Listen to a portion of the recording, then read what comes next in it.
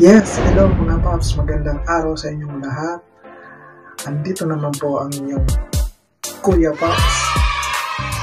Nagbabalik. Ngayong araw mga paps, ang gagawin natin ay mag-unboxing tayo ng aking in-order dito sa kulay dilaw na box na to na don.com. Finally mga paps, dumating na siya. Ang bilis lang ng delivery nila mga paps sa loob lang ng 2 days. Dumating na siya. Ito yung in-order ko na napakamurang action cam na nagkakahalaga lang siyang 69 dirham around 800 plus sa Philippine money. Ngayon mga paps bago ko pala makalimutan kung bago lang kayo dito sa aking youtube channel huwag niyong kakalimutan na i-hit yung subscribe button at i-hit nyo na rin yung notification bell para lagi kayong updated sa aking mga bagong video na i-upload dito sa aking channel. At lalong lalo na mga paps, maraming maraming salamat sa lahat ng aking mga subscriber na walang sawang sumusuporta sa aking YouTube channel. God bless po sa inyong lahat mga paps. Sana po ay huwag kayong magsawa na suportahan ang aking YouTube channel.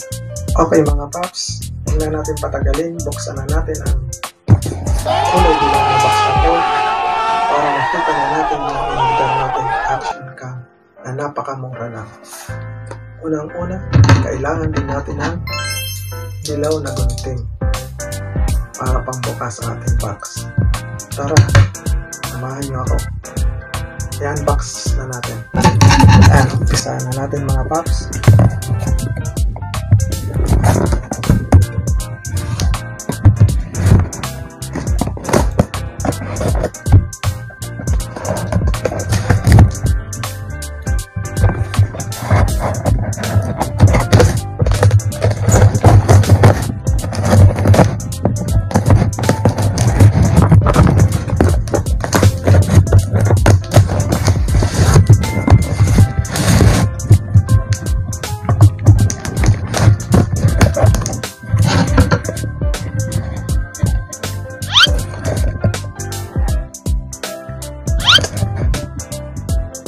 Ang laki ng nasa loob na yan mga paps.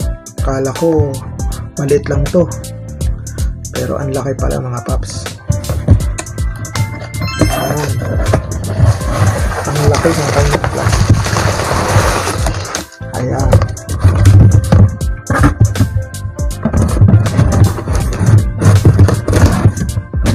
Malaking malaki pala yung plastic lang. Tabi muna natin to mga paps. Box natin.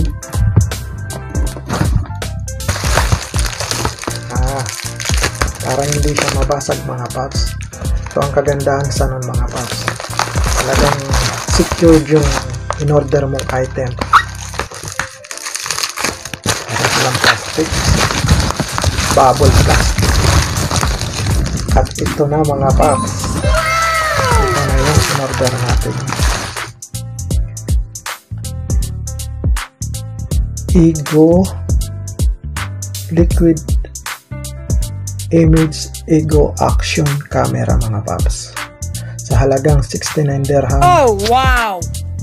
para sa mga beginner na kagaya ko ay magandang maganda na to. Lalo na kung ang iyong content ay motovlogging bike magandang maganda to mga paps. Maliit lang siya oh.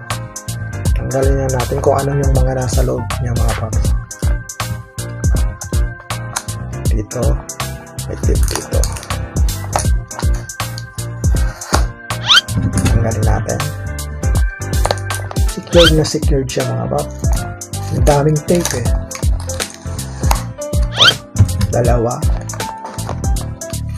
Ito pa. Apat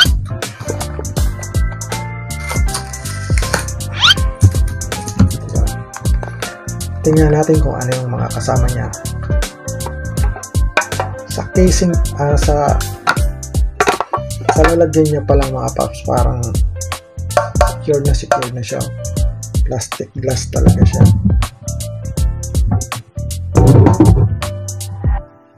ito yung pinaka action cam niya mga paps ang liit lang liquid image Ego Action Camera. HD na siya mga paps. HD na siya. HD 1080p.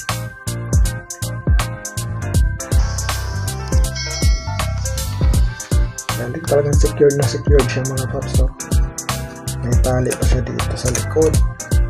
Hmm. Galing ah. Parang hindi mo iisipin mura lang na action camera to sa ganda ng packaging nila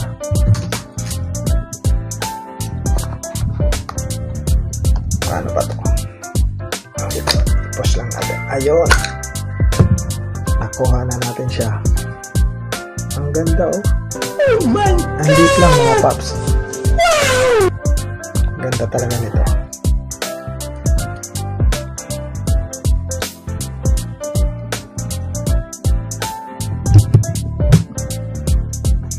Tingnan natin dito sa loob mga paps kung ano yung nasa loob niya. Oh, ang daming nasa loob niya. Ang daming nasa loob ng box niya. Paunahin natin. Siyempre, yung USB charger niya ang kasama.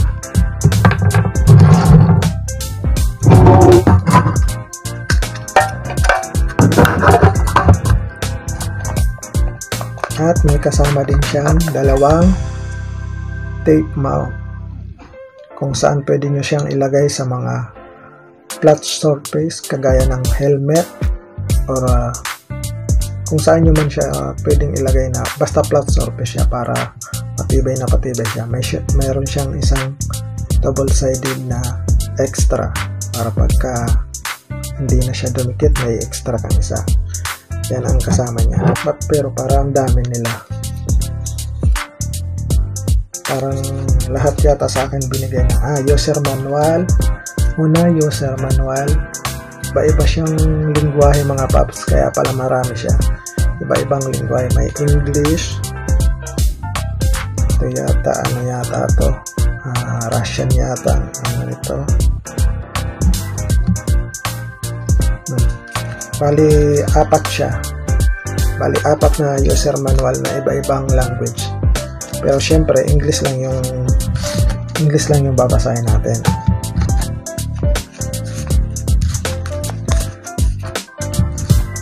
Meron pang isa mga paps, yung gas, yung case niya.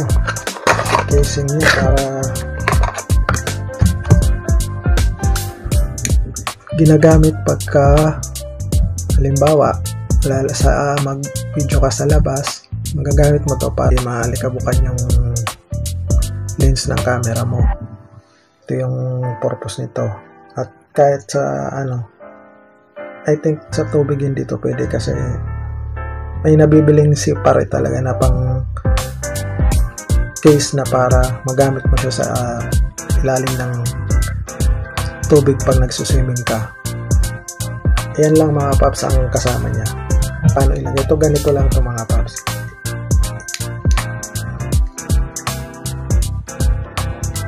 Ayan na siya, nakalagay na siya. Ang ganda. Ang liit lang pero ang ganda.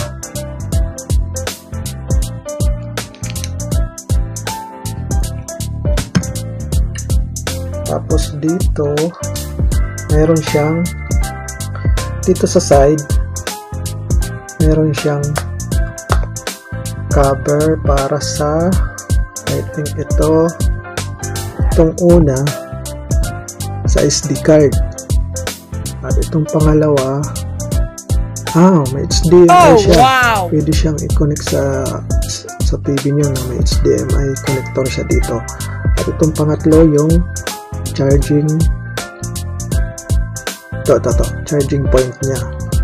Ayan. Tapos try na natin i-on mga paps kung ah dito pala ito pala yung on niya kung naka-facing yung ano nasa left side yung kung naka-facing sa camera mo yung action cam nasa left side yung on power button niya try natin Ayun. Ayun. Nag-on na siya mga paps. Tapos dito, may small indicator siya. May small, ano siya dyan, no? digital indicator.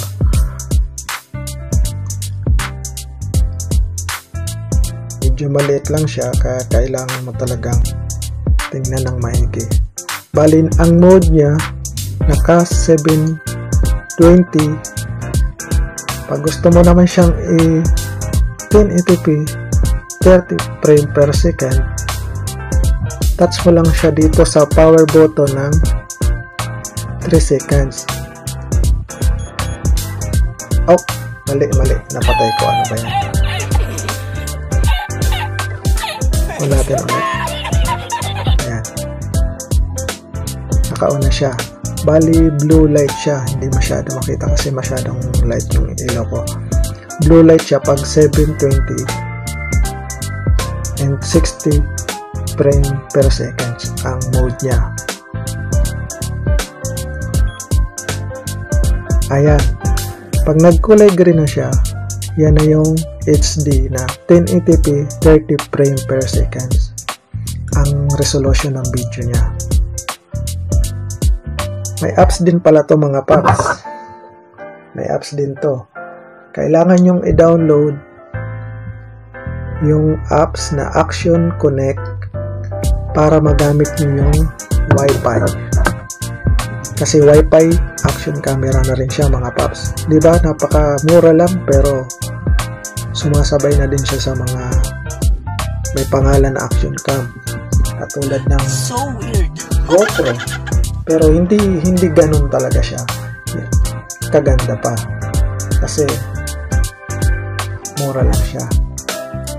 At I think wala tong stabi- image stabilization sa ano niya. Pero okay na para sa mga beginner na gagaya ko. Maganda na to. Kasi HD na rin siya at 1080p and 630 frame per second na rin siya. Maganda na yung ano nito. Pero titingnan natin to. Dito try natin to sa labas. Para naman makita talaga na pakita ko sa inyo kung gaano kung ano ang nagagawa ng maliit na action cam na to. Abangan nyo na lang mga paps yung susunod kong video about sa action cam na to at ito try natin to sa labas. Ba yung performance niya at kung gaano ba kalinaw yung camera niya. Sige, maraming salamat mga paps. Hanggang dito lang muna tayo. Hanggang dito lang muna ang ating video.